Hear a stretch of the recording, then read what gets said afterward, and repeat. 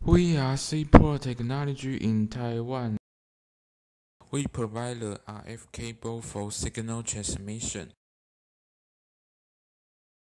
We have four main kinds of RF cables. Here are RF cable SMA and TNC. We can customize according to your need, including the wire and the connectors. Here are the IPEX and FME cable. Also, they can be customized too. The RF cable are used in signal transmission. We check the ingredient with X-ray machine. We have 10 automatic crimping machine.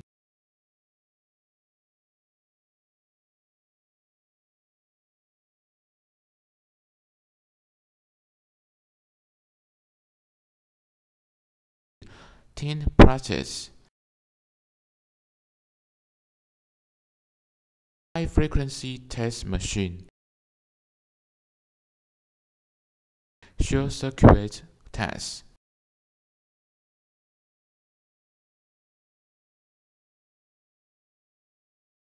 Customization process.